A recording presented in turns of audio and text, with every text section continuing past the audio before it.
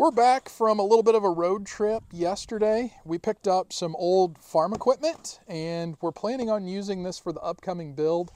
If you followed along on the garage build, you know I spent a lot of time and energy moving my scaffolding around to work on the roof and the overhangs. And these two old running gear are meant to ease that process a little bit.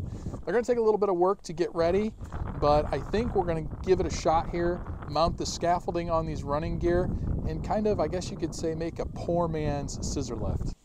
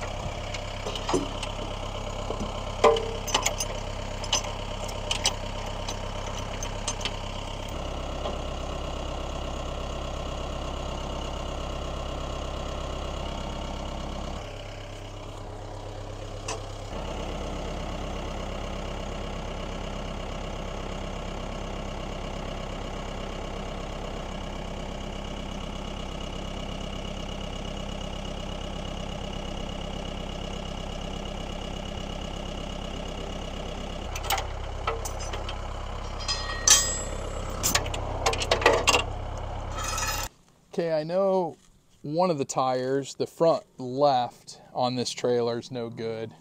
Let's see if these other ones are going to hold air. Yeah, that one took air, so that's a good sign. We'll come back and check it here in a little bit and see if it's still holding. I don't hear any leaks. I think we may be in good shape on this trailer. As far as the tires go, I don't hear any major leaks, and they all took air. Everything appears to be in pretty good shape. The frame is a little rough, but for what we need to use it for, for scaffolding, I think we're in good shape. I don't think we need to make any modifications. The reach looks straight, so that's good. The steering works, I checked that. I think we're in good shape there. So I think this trailer is ready to go to put the timbers on and start building the frame for the scaffolding. So what I'm gonna try to do is to take this bolt out of the reach and slide this rear axle forward to the next hole. That'll get me 10 feet, just a little under 10 feet axle to axle, and my 6x6 post is 20 feet long. This post came from the temporary power pole that we had up earlier for the garage build, so I'm going to dual purpose that, maybe cut it in half, and then I can put that as the framework between the two axles and then build the scaffolding on top of that. But we need to get this bolt out first, so we're just going to keep soaking it here with some WD-40 and see if we can't get it loosened up and slide it up to the next hole. All right, let's see if we can't get this thing broke loose.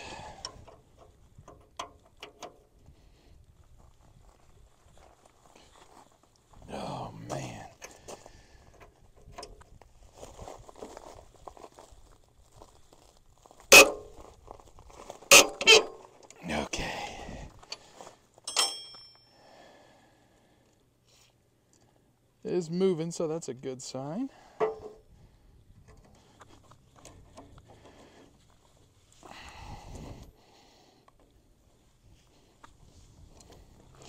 All right.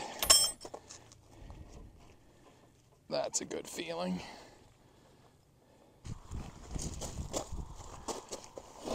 Oh yeah.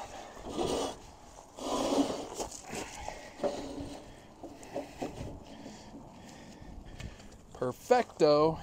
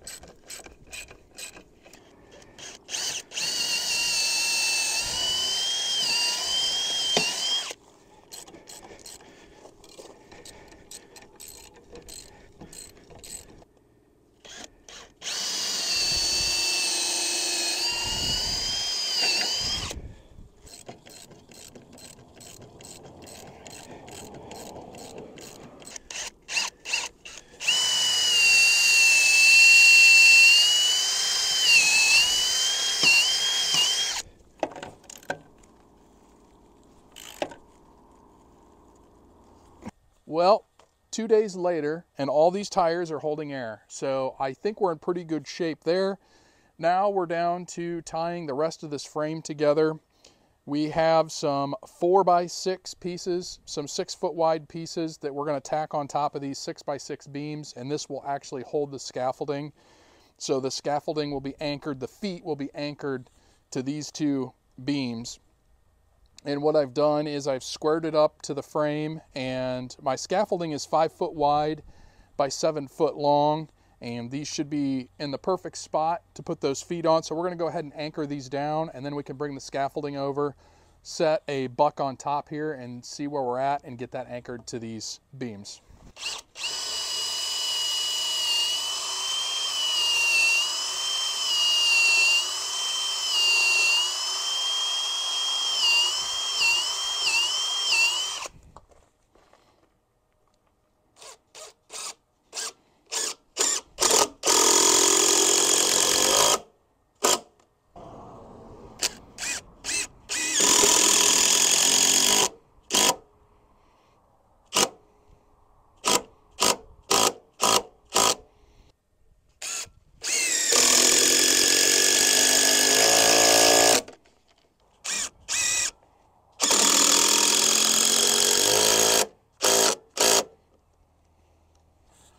These beams have a little bit of a twist in them as you can see here, but I don't think it's a big deal. What we'll do is we'll put these uh, angle brackets, once we get the scaffolding over here and we know that these beams are in the spot that we want them in, we'll put these angle brackets in just to kind of reinforce things so they don't move around. And I think we'll be in pretty good shape with the base, be nice and solid.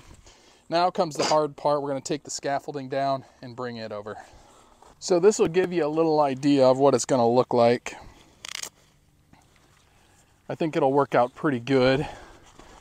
We're not on a completely level surface here, but I'm gonna try to get, uh, we'll get some C-clamps on that front side and actually get the scaffolding set up there and held. And I think that'll eliminate us uh, trying to move things around to get it to fit good.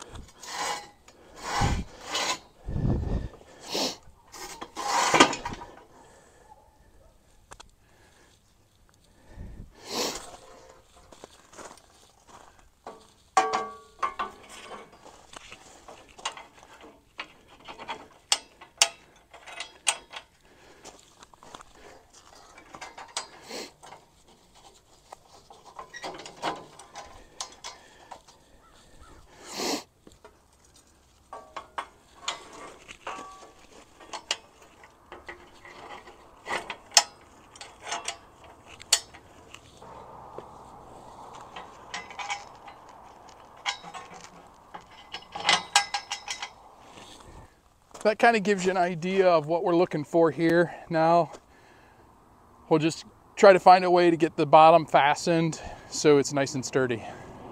Well, now we're gonna have to drill through these plates and get this thing fastened. But I think this is gonna work out great. This is gonna be a huge time saver and energy saver. Cannot wait we are finally done with the scaffolding wagon and I think this is really going to be handy for us. The I just kind of pulled it back and forth on the front here just to kind of see what it would look like on rough terrain and you can still adjust the feet on all four of the legs, the jack screws to get the scaffolding level. The wagon pivots on the front axle, it, it allows it to kind of twist with the terrain, but you can still adjust your scaffolding to get things level up top. And the best part is this thing is super easy to push. It's a light running gear. I think this is a two ton or three ton running gear. So it's light enough. I can push it around by hand. Check this out. Let's say I just want to go down and work on the next seven feet. We'll just push it down. Get it to where we want it. If we need to, we can block the tires. I think maybe later on I may do a platform on this thing if I have some extra wood. I think would be kind of cool. Uh, but it looks pretty good the way it is. And the jack screws, it's already, I can see twisted a little bit.